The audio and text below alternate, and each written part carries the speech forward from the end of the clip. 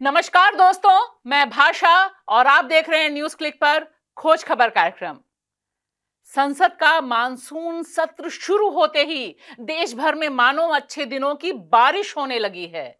दो साल पहले तक देश के प्रधानमंत्री नरेंद्र मोदी, उनका यह भाषण, उस समय कितना देखा गया यह तो पता नहीं, लेकिन इस समय ज़बरदस्त वायरल है।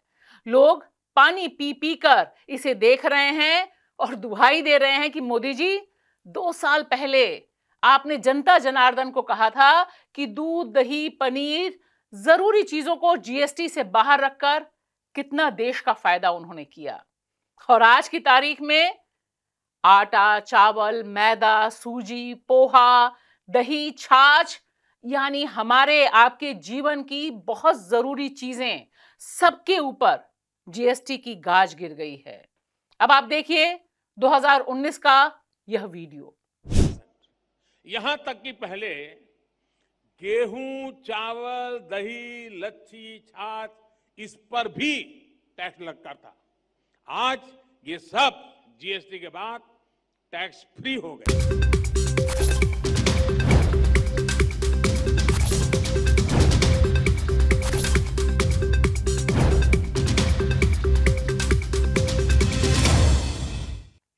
दोस्तों, एक बात बहुत साफ़ हो गई है कि जिस तरह से मोदी सरकार ने जीएसटी की परिधि में तमाम ज़रूरी चीज़ों को, हमारे आपके जीवन की छोटी बड़ी तमाम चीज़ों को शामिल किया है, इसने आम भारतीय नागरिक का जीना और ज़्यादा मुहाल कर दिया है। यहाँ ध्यान देने की बात यह है कि इस बार जो पाँच फ़ीसदी जीएसटी की गाज गिरी है, यह गाज उन उत्पादों पर है जो नॉन ब्रांडेड रहे हैं।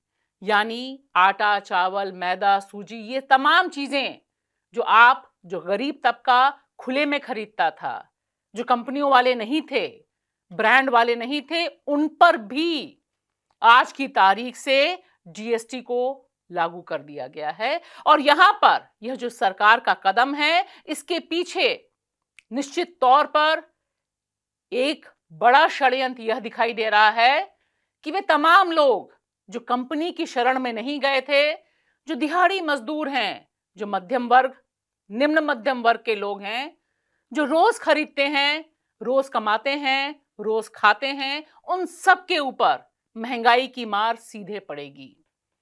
यह जो पाँच फ़ीसदी बढ़ाया गया है इसके खिलाफ तमिलनाडु में जो राइस मिल मालिकों ने राज्यव्यापी हड़ताल रखी है अलग अलग जगहों से आवाज़ आना शुरू हो रही है।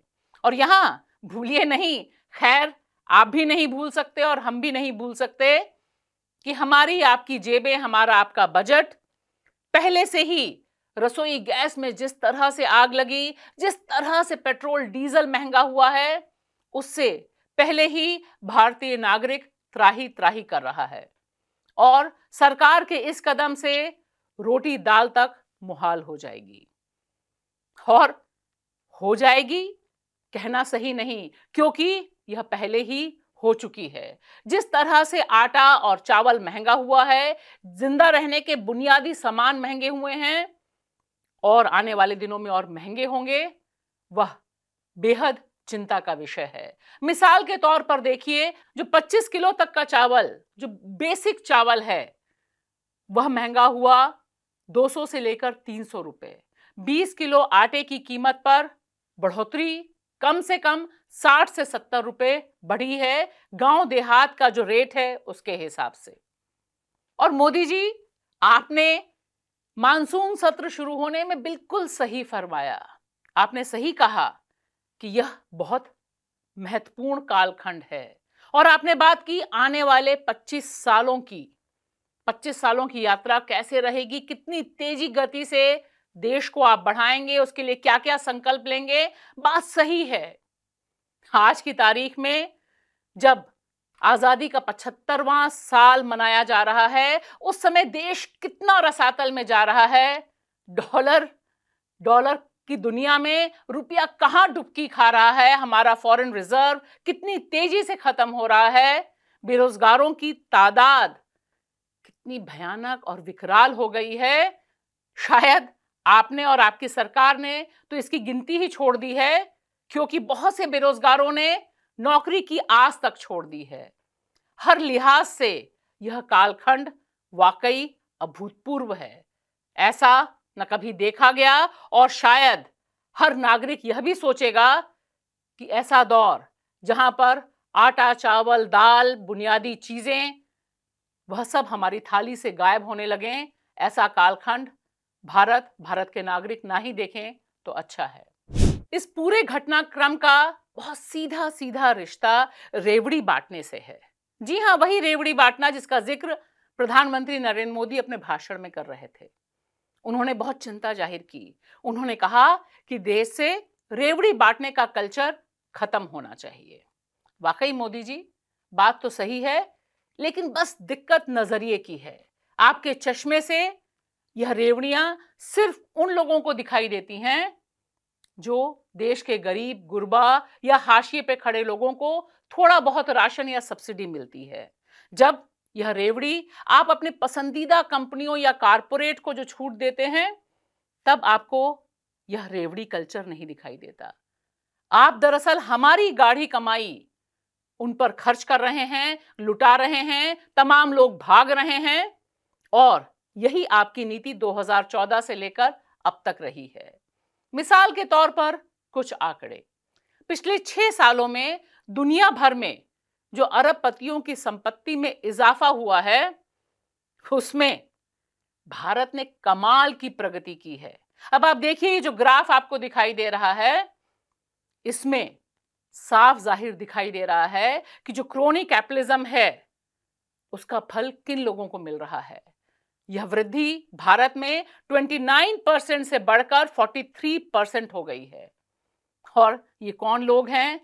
यह कहना ज़रूरी नहीं, क्योंकि देश का बच्चा बच्चा अंबानी, अडानी की ग्रोथ रेट से बहुत गहरा प्रभावित है।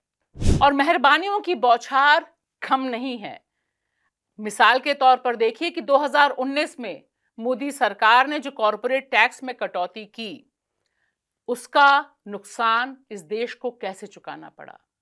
राजस्व में 1.45 लाख करोड़ का नुकसान हुआ। यह नुकसान? हमारी आपकी अपनी जेब को हुआ और फ़ायदा उन बड़ी कंपनियों को हुआ जो लगातार हमारे आपके बल पर मुनाफा कमा रही हैं। इतनी बड़ी मात्रा में कॉरपोरेट कर में कटौती शायद ही दुनिया में कहीं की गई। और वह भी तब, जब भारत में जो हाल है आम भारतीय नागरिक का, वह इतना बर्बाद है कि दुनिया भर में भारत को पावर्टी का कैपिटल कहा जा रहा है। दुनिया भर में सबसे अधिक गरीब भारत में है और इस मामले में हमने नाइजीरिया को भी पिछाड़ दिया है। वर्ल्ड पावर्टी क्लॉक की जो रिपोर्ट है, उसके मुताबिक एक्सट्रीमली पुअर जो बेइंतहा गरीब हैं, वे भारत की कुल आबादी, हमारी जो कुल आबादी है, एक अरब तीस करोड़ का छह फ़ीसदी लोग हैं, जो भीषण रूप से गरीब हैं। यानी आठ दशमलव तीन करोड़ लोग इतने गरीब हैं कि वे सब भुखमरी के कगार पर हैं। यह सब चीज़ें आज याद करना इसलिए ज़रूरी है क्योंकि इस समय देश की अर्थव्यवस्था इन तमाम गरीबों के खिलाफ युद्ध करती नज़र आ रही है। जिस तरह से जो जीएसटी लगाया गया है, जिससे महँगाई की मार तेज हो गई है, उसमें अब आप सोचिए कि जो ग्लोबल हंगर इंडेक्स यानी दुनिया का भूख का, भूखमरी का जो इंडेक्स है, उसमें भारत कहाँ खड़ा है? भारत 116 देशों में से 101वें नंबर पर है। भारत की पंद्रह दशमलव तीन फ़ीसदी आबादी अंडर नरिश्ड है। यानी भारत में सबसे बड़ी संख्या में वो लोग हैं जो भूखे पेट सोते हैं, पूरी दुनिया का ग्राफ के हिसाब से। अब ये सारे तथ्य ऐसा नहीं कि सिर्फ़ हमारे पास हैं या आपके पास हैं, ये मोदी सरकार के पास हैं, देश दुनिया के सामने है। ये जिस समय हो रहा है, उस समय भारतीय नागरिकों को और भीषण भुखमरी की ओर ढकेला जा रहा है। वह भी तब जब वर्ल्ड बैंक की रिपोर्ट बता रही है कि 2020 से लेकर 22 तक जो भारतीय अर्थव्यवस्था, उसकी सालाना वृद्धि शून्य दशमलव आठ फ़ीसदी है। यानी देश में जो विकास दर है, वह बहुत कम स्तर पर है। यहाँ पर हम सब जानते हैं जिसकी तस्दीक सीएमआईई की रिपोर्ट भी करती है कि जनवरी से लेकर अप्रैल तक 20 साल और 24 साल के बेरोजगारों की संख्या दो करोड़ से अधिक हो चुकी है और बेरोजगारी की जो दर है, वह बयालीस फ़ीसदी है। आपने सही कहा मोदी जी, यह कालखंड निश्चित तौर पर ऐतिहासिक है। भारत जिस तेज़ी से मुसीबतों की ओर बढ़ रहा है, गरीबी और भुखमरी की ओर बढ़ रहा है और जिसमें जो आग लगी है महँगाई की, उसने पूरे के पूरे लोकतंत्र को घेर के रखा हुआ है। आइए अब देखते हैं कि देश की सरकारें किस तरह से हमें आपको, यानी पत्रकारों को देखती है। मामला सीधे सीधे जुड़ा हुआ है झारखंड के एक्टिविस्ट, पत्रकार, बहुत ही जुझारू पत्रकार रुपेश कुमार सिंह की गिरफ्तारी से, जिन्हें झारखंड की पुलिस ने सारे नियम, कायदे, कानून को धता बताकर अल सुबह 17 जुलाई को उनके घर से गिरफ़्तार किया। पुलिस जब उन्हें गिरफ़्तार करने पहुँची थी, तब उन्होंने खाली सर्च वारंट का ज़िक्र किया था। गिरफ़्तार करने आई है, गिरफ्तारी का वारंट है, इसके बारे में ना उन्होंने रुपेश को बताया ना उनके परिवार वालों को बताया। और यहाँ पर आप देखिए कि जिस तरह से रुपेश को निशाने पे लिया गया, वह साफ़ साफ़ बता रहा है कि झारखंड में जिस तरह की रिपोर्टिंग रुपेश कर रहे थे, जिस तरह से ग्राउंड रिपोर्ट रुपेश लगातार कर रहे थे, जिस तरह से कॉरपोरेट लूट जो झारखंड में चल रही थी, आदिवासियों को जिस तरह से निशाने पे लिया जा रहा था, उसका खुलासा कर रहे थे, उसमें उनको निशाने पे लिया, गिरफ्तारी हुई और उन्हें नक्सली बताकर गिरफ़्तार किया गया है, जो धाराएँ लगाई गई हैं। यहाँ हम यह भी बताना चाहेंगे कि 2019 में भी उन्हें गिरफ़्तार किया गया था। यूएपीए लगा उन पर और इसके बाद जब वह बाहर आए तो एक बहुत अहम खुलासा उन्होंने किया, जिससे यह पता चला कि देश में जो सर्विलांस स्टेट है, जो पेगासिस जैसे सॉफ्टवेयर का इस्तेमाल कर रहा है, उसके निशाने पर भी रुपेश थे। रुपेश पर भी और उनकी पत्नी पर भी निगरानी इंडियन स्टेट रख रहा था। जिस तरह से रुपेश की गिरफ्तारी की गई, उससे एक बात साफ़ हो गई है कि सच बर्दाश्त करना किसी भी सरकार के लिए इस समय बहुत मुश्किल है। इस समय चौदह भारतीय पत्रकार जेल में हैं डिटेन किए गए, जिनमें से अगर हम सिर्फ़ 2022 का हिसाब लें तो अब तक आठ मीडिया कर्मियों को गिरफ़्तार किया गया। यह लिस्ट बहुत लंबी है, लेकिन यह लिस्ट जाननी, समझनी, पढ़नी बेहद ज़रूरी है, क्योंकि इससे पता चलता है कि किस तरह से मीडिया को, मीडिया कर्मियों को निशाने पे लिया गया। अब देखिए 14 फरवरी को फहाद शाह को, जो कश्मीर वाला ऑनलाइन मैगजीन के संपादक हैं, उन्हें गिरफ़्तार किया गया। तो 15 मार्च को पंजाब केसरी के गौरव बंसल को 30 मार्च को अजीत ओझा, दिग्विजय सिंह, मनोज गुप्ता को बलिया से गिरफ़्तार किया गया। 17 अप्रैल को अब्दुल आला फैजल को 2011 में छपे उनके एक लेख के लिए कश्मीर में गिरफ़्तार किया गया। 20 जून को पटना में अग्निपथ विरोध को कवर करने वाले चार पत्रकारों को गिरफ़्तार किया, डिटेन किया। 26 जून को तीस्ता सीतलवाड़, जो पॉलिटिकल एक्टिविस्ट हैं, सबरंग कम्युनिकेशंस चलाती हैं उन्हें पुलिस ने गिरफ़्तार किया। 27 जून को जुबेर को गिरफ़्तार किया गया। और जुबेर का मामला इस मामले में बहुत ऐतिहासिक है कि जिस तरह से उनको गिरफ़्तार करने, जेल के भीतर रखने के लिए तमाम तंत्र एक साथ मिले, वह बताते हैं कि एक सच्चे निर्भीक पत्रकार से किस तरह से सरकारें डरती हैं। सात जुलाई को नोएडा पुलिस ने जी न्यूज़ के रोहित रंजन को डिटेन किया। सत्रह जुलाई को रूपेश।